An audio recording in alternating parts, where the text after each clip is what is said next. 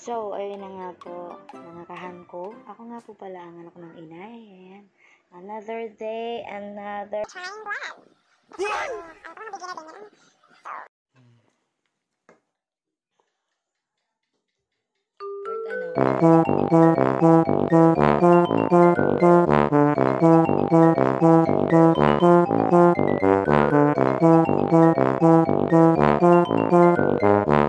Thank you.